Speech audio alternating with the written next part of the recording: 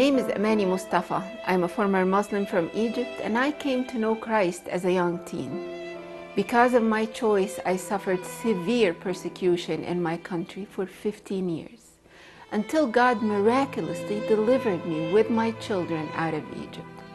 I thought I was escaping to the Western world of freedom, but to my surprise, I found myself followed by Muslims to kill me for choosing to worship Christ.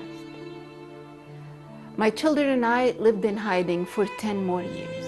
The truth is, my story is an example of millions of stories for men and women in the Islamic world who are persecuted, jailed, kidnapped, tortured, or killed because of their faith in Christ. Today, we watch the suffering of nations, the call for justice and freedom all over the Middle East. But what we don't see is the oppression and the suffering of that minority called the body of Christ.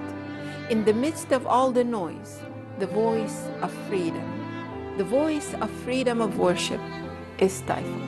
Churches are attacked, burned, or bombed while it is full of worshippers. When the blood of Christians filled the streets of Alexandria New Year's Eve 2011, you heard the Muslims shout, Allahu Akbar. That was a victory for Allah. Every day, followers of Christ are persecuted, killed, kidnapped by their neighbors or governments or families. In Algeria, Morocco, Yemen, Egypt, and even in Saudi Arabia, we as the body of Christ are honored to be called by his name and to persevere for his name. But Allah in the Quran says, I will cast terror into the hearts of those who disbelieve. But Jesus, Jesus said, love even your enemies. We have a choice even in love.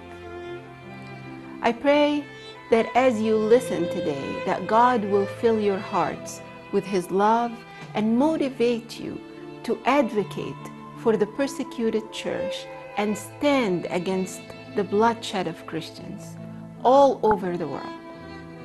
But above all, we stand for the name of Christ and the love of Christ to be shown to the world, even those who persecute us.